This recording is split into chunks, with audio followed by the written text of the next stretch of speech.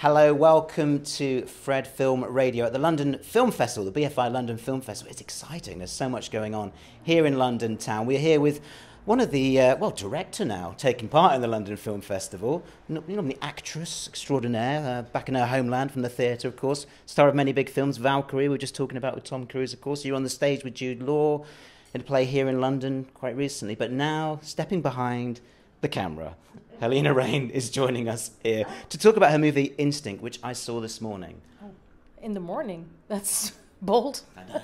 I, know. I, I got through it. It was okay. Um, but what a marvelous film. I mean, powerful, shocking, and I suppose the place to start is why this story, or perhaps explain the story for people listening. Yeah, well, very simply said, it's about it, it it's based on true events, and it's about a therapist, female therapist, a very very uh, uh, well known therapist, and she falls in love or has an affair with a serial rapist that she's treating in prison.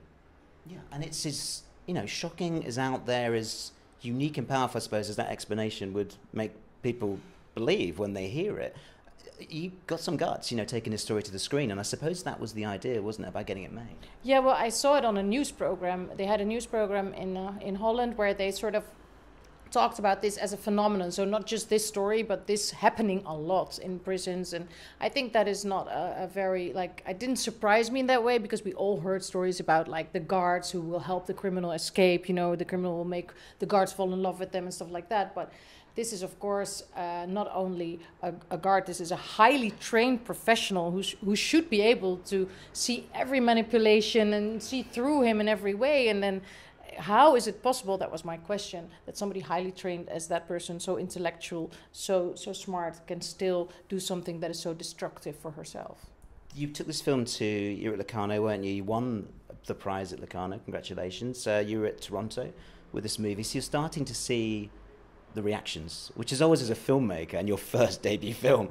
It must be quite enjoyable slash quite frightening to see how people receive it yeah, yeah, you, you, you, put it very well.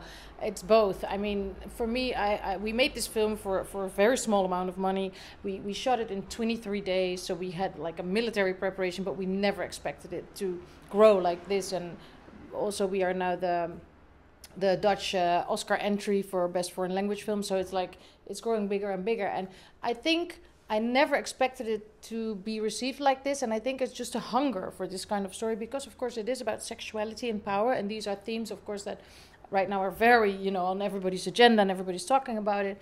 And so I think there's a, a great need for, for maybe another side to it or just a gray area that we are exploring because in the end you don't really know. They are both damaged hè, the, the Carice van Houten, who plays the, the lead, beautiful actress, my best friend. I'm a little biased. But, and the other part is played by Marwan Kenzari, who's also like an international star now. He plays Jafar in Aladdin and stuff like that. And so it's also a movie just about two giant actors. You know, like in one room, I really was inspired by the movie Hunger, in which you have this scene between uh, the priest and uh, the prisoner and they are sitting there for half an hour it's like almost one take you know it's like theater to me so the whole movie is more of an abstract story about uh, sexuality boundaries power control addiction not so much like a social prison drama or anything. I mean it goes places that you know other ones perhaps wouldn't. I mean i suppose that's the thing. It goes that next stage. It's that idea isn't it that sexuality is a very is a really hard thing to define in terms of what's right what's wrong and perhaps there shouldn't be all these kind of terms associated with it. Like she's got a lot of thoughts going on, and this, I don't want to give away the story, but you know, it's it's not as black and white perhaps as people would think. Yeah, and of course it would be a very uh, safe world if we could say the the bad guys are over there and the good guys are over there.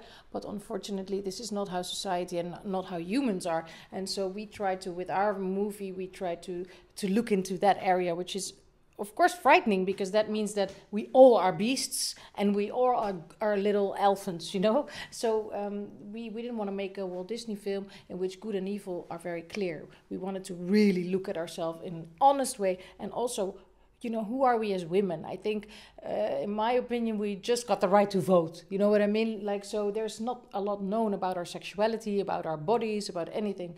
And so this movie for me is like a cry for help almost. Like, who am I? I don't know who I am. I'm struggling with this little princess in me that wants to be protected and dominated.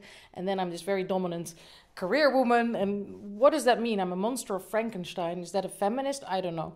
So these are my questions that I just put out there, and I hope Somebody can answer them, though. it's not, that's not my job to answer that, especially as a man. you can answer these questions a lot better than I can. Um, can we talk about Carice? Because obviously you two very good friends worked together and became friends, I suppose, when you worked together before. She, of course, in Game of Thrones, people know from that. Um, you formed a production company, haven't you? Which is this is the first fruits of your labour, so to speak, with uh, Man Up, it's called. What was the idea with that? I suppose the title is kind of quite suggestive of what it's about. Yeah, so the title Man Up is just a joke as well, but also um, I think it came from the fact that we were both um, so lucky to be very accomplished actresses very, very fast in our lives. And so um, we started to get a little bit bored because we, we worked with so many great directors, and then slowly you start to develop this really this urge to do something yourself and not only be the one who is like the paint that somebody else is you know in somebody else's painting and so we started to think um, uh, think up of, of, of, of, a TV show that we wanted to do. It's called Red Light. We're shooting it right now, and it's about prostitution. It's about female trade. It, it, of course, takes place in the red light district in Amsterdam, and so we're shooting that right now with our company. But in, we thought that took too long to get finance. It took us six years because it's a huge project. It's ten episodes, and so then after a couple of years, I was like, I want to do something now, you know. And then I, I had this idea, and of course, these themes are the same. Eh? The red light district also deals with sexuality and power, but for a much wider audience. Like it's it's going to be on primetime TV, so it's different. And this movie is just Instinct is much more raw. It's much more, mm, yeah, maybe for you need to you know it's it's a movie that looks further than than I didn't in my mind when I was writing it. I didn't think that anybody would see it. You know. Here like, we are. I know. And so now it's to me a little bit confusing because I never made it with the idea that so many people would look at my darkest fantasies and my darkest fears and my darkest thoughts. So it's also a little bit scary, like you said in the beginning of our conversation. But on the other hand, of course, it's it's the best because I think I did make it to make people feel less lonely, mm. like an alien. Like I feel like an alien all the time. Like, and I feel that some people who see my movie, especially women, they get really emotional because for them there's a relief to it. I'm not alone. I can talk about these feelings. I shouldn't be ashamed of these feelings, although I see myself as a feminist. I was going to say that, that conversation about, and we've had obviously the Me Too movement that came along with a very specific few very, in the headlines that we don't need to obviously go into now, but we seem to be at a time when you know, we're trying to work out what the logical steps are. That need, you know, the things that need to be done without being too far the other way, so yeah. to speak. I know speaking to Rachel Weisz, when you, you know, many journalists ask her what it's like to be a woman, and she's like, "Can we not talk? You know, can you? Can we, there's not a better way. It's like I'm some endangered elephant." And that's what she says, which is which is a hilarious way of putting that. it. She's so funny. But I guess, like you're saying with your production company, what you want to do is be able to tell the stories from your point of view yes. and get them financed and get them made. Yes, exactly. And also, um, I think even us, we are still white women, so I think we should also step aside. You know, it's also our dream to create stuff that other females or like other women bring stuff to us that we can then realize for them or you know i think it's just i mean this is of course a very big dream and i want to be humble about it but yeah my ultimate goal would be in 10 years that there would be stories made by minorities. Also um, you know the whole community of minorities everyone should step in and and if you have a good idea just just write us an email.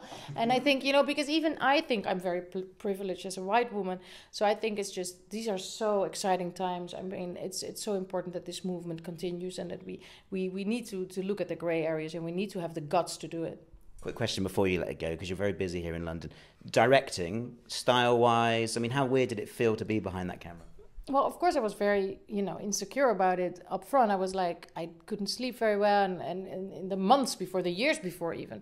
But because Ivo van Hove, who's my director, who I did the play with Jude Law, um, also with Obsession, uh, he, I, I learned from him. I worked with him for twenty years. Uh, that he always prepares like a soldier, like totally prepares. And then in the rehearsal room he, he lets go completely. And then you're free. So that is what i tried to do. I really prepared myself like a military person. And then when we were on set i, I could listen to the actors. I could listen to the best idea whoever had the best idea. And i was so secure of every question anybody had i could answer. And if i didn't have the answer i would just say well i don't know. What do you think? Or I felt, for me, it felt directing felt like coming home. And I don't have children. And I felt so like all my motherly feelings could flow. You know, I, I just taking care of the team, taking care of everybody, putting everybody in their strength. I thought it was the most magical experience of my life. And I cannot wait. I hope I can do it again.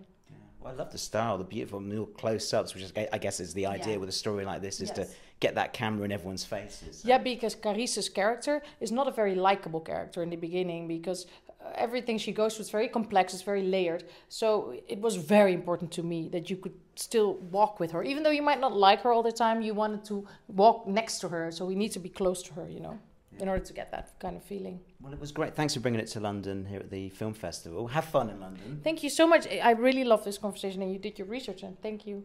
That's all right. But I watched it this morning, so you know I was fresh, fresh from it. So thanks for bringing it to London. Best of luck with all the Academy Awards and all that stuff coming up. If you get there, it was brilliant. Exciting time.